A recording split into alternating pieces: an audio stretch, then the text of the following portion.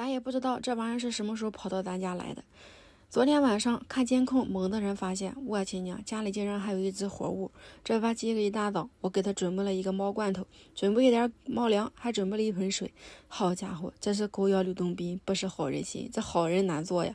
我给他整吃的，他竟然还要咬我，不知咋的了。自从回来以后，就特别的怕人，也不出来了。咱也不知道是不是在外边让人给打了，现在看见人就害怕。咪咪，咪咪。哎，又跑哪去了？来，咪咪，给他买的猫粮，买的猫罐头，准备的水。咪咪，咪咪，不管他了。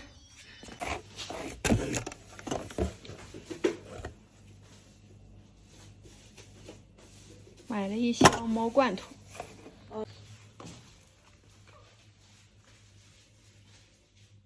没出来吃，哦，吃了，把罐头吃下去一些，粮没吃，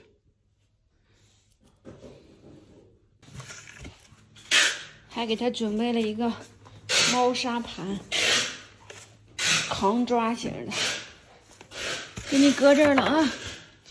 得了，甭管他了，让他在那待着去吧。好久没有上房车上看看了，今天上房车里瞅一眼。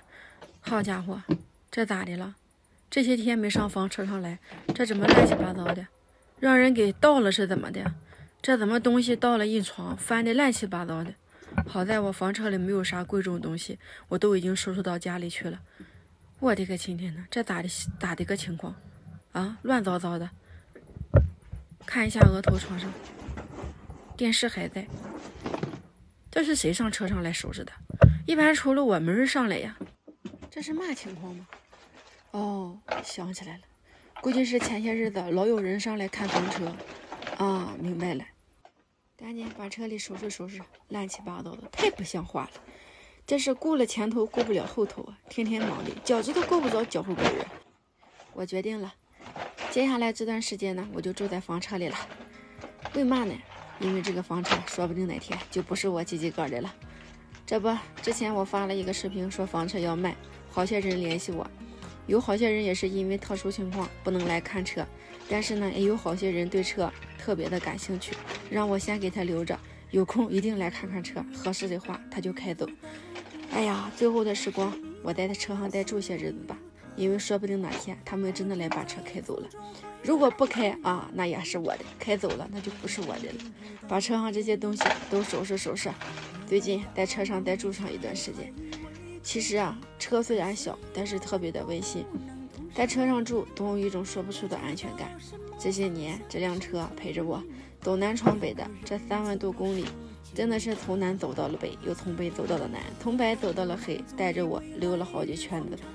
为什么现在越来越多的人喜欢旅行？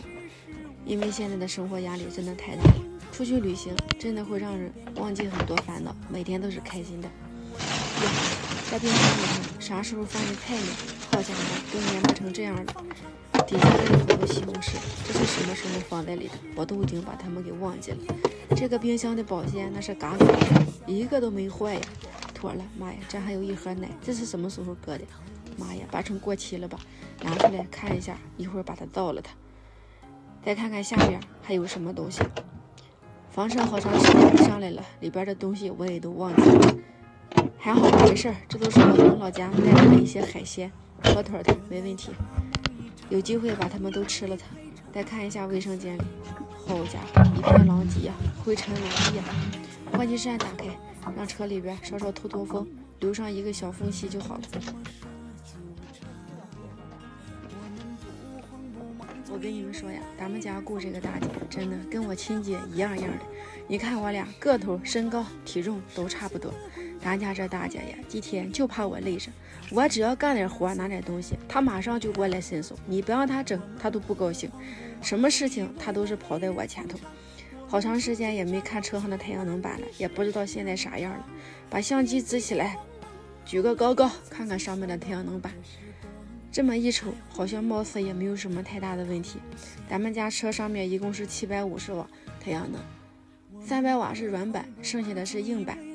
额头上几块也没有啥问题，哇凉哇凉的，妥了，没啥问题。